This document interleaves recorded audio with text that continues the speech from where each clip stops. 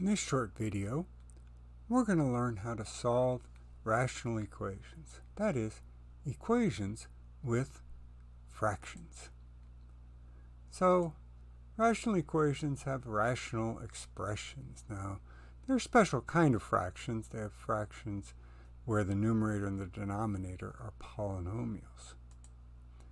And what we're going to do is start by clearing the fractions and then we'll get a new equation that has no fractions, and it will be either a quadratic equation or a linear equation, which we already know how to solve. So to clear the fractions, we have to be able to factor all of the denominators and find the LCD. Then we multiply all of the terms on both sides by the LCD.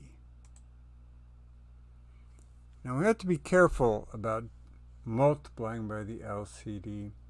We might not get any equivalent equation. We might, might, we might find ourselves with a solution which is not in the domain of the original rational expressions, in which case we have to reject that solution. It can't be a solution to the equation. So what we do is check that any solution we find belongs to the domain. So let's start with a an example, 12 over y plus y over y minus 3 equals 7.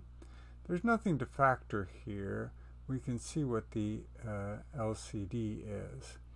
And so we want to go through this systematically. So the first thing we're going to do is we're going to determine the domain, which means that we're going to find what values of the variable cannot be solutions.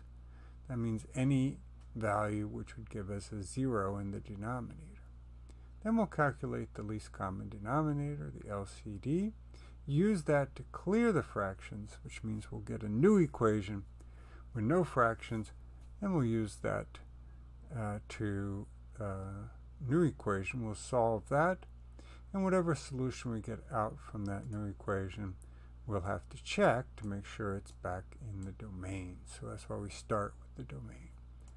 So our domain for this equation is y cannot be 0 and y cannot be 3. The LCD, I only have two denominators, they can't be factored. And so the LCD is their product, y times y minus 3. So I'm going to go ahead and multiply each term by y times y minus 3, including the 7, even though it's not written as a fraction. I'm still going to multiply it because it's part of the equation. I have to multiply both sides by the same number. Now I'm going to rewrite these fractions so that I can see the forms of 1. So I have a y over a y, and then in the second term a y minus 3 over y minus 3. On the right-hand side, I just use the distributive property. So taking out those forms of 1, I'm left with 12 times y minus 3 plus y squared equals 7y squared minus 21y. Now, I'm not done yet, so I'll have to continue on the next slide. So we left off with 12 parentheses y minus 3 plus y squared equals 7y squared minus 21. So this is a quadratic equation, so I'm going to make one side equal to 0, and let's see if I can factor it. So first I'll need to remove these parentheses. Then I'll do some balancing. I'll subtract 12y, I'll add 36, and subtract y squared from each side, giving me 0 is 6y squared minus 33y plus 36. Those are just some big numbers. They look a little intimidating, but then you can see that we have a common factor of 3. And now I'm working with much smaller numbers.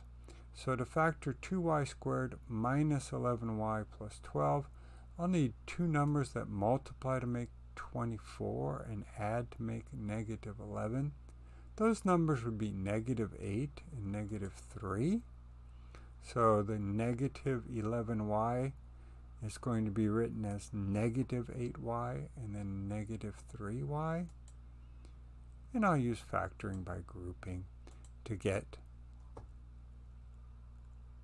the final factorization 3 times the binomial 2y minus 3 times y minus 4 equals 0.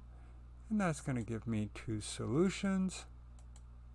y equals 3 halves and y equals 4. Now both of those are in the domain, so nothing gets rejected. So here's a variation. Now I have uh, y over y plus 3, and that equals 1. So the same solution steps. My domain is uh, y can't be 0 and y can't be negative 3. And my LCD is the product y times y plus 3. So let's go ahead and multiply every term by y times y plus 3. Uh, when I have fractions, I'll be writing them so I can see the form of, of 1. Uh, on the right-hand side, I just use the distributive property. Take out those forms of 1. Remove the parentheses. Uh, well, I could have done that first, but I guess I observed that both sides have just 1y squared. So if I subtract y squared from each side, I get an equation with no y squared. It's a linear equation. And in fact, I also use the distributive property here, removing the parentheses to get 12y plus 36. So let's go ahead and solve that. We'll just go ahead and get uh, the variables on one side. And this is one exception. Normally I do not want to get a uh, negative coefficient on the y, but the 36 is already here, and I'm going to save some work if I just subtract 12y from each side, and then divide both sides by negative 9 to get y equals negative 4, which is in the domain so I don't have to reject that. So in our last example, I have to do some factoring first before I can identify the domain and the LCD. So after I factor m squared minus 1 is m plus 1 times m minus 1, I see that the domain is that m cannot equal 1 and it cannot equal negative 1. My LCD is m plus 1 times m minus 1. So I'll go ahead and multiply each term by that LCD. And then look for my forms of 1. And after I take those out, uh, now I've got an equation with no fractions. And in fact, there's no squared term, so it's just a linear equation. And let me go ahead and remove the parentheses, collect the like term, and then solve for m. So I'll add 3 to each side, and then divide by 9. That gives me m equals 1. But that's a problem, because 1 is not in the domain, so I'm going to have to reject that, which means that our solution set is empty.